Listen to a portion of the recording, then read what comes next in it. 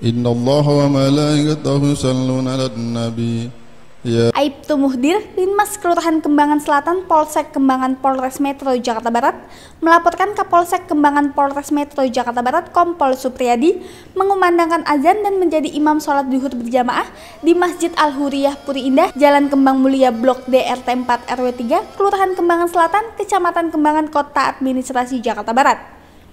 Pada pelaksanaan ini, Kapolsek mentauladani kepada anggota Polri khususnya Polsek Kembangan agar seluruh anggotanya dapat meningkatkan dan menjalankan sholat wajib berjamaah di masjid-masjid di wilayah hukum Polsek Kembangan.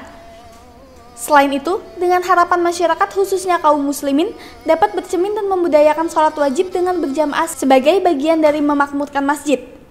Hal ini menjadikan tolak ukur dari aplikasi menjalankan perintah Allah Subhanahu wa taala dalam iman dan takwa sebagai benteng tiang agama serta menjadikan tameng amal ma'ruf nahi mungkar dengan terhindar dari perbuatan tercela untuk mewujudkan harkam tipmas sebagaimana yang diamanatkan oleh Undang-Undang Kepolisian Republik Indonesia Nomor 2 Tahun 2002 Pasal 13. Demikian dilaporkan oleh Binmas Kembangan Aibtu Muhdir.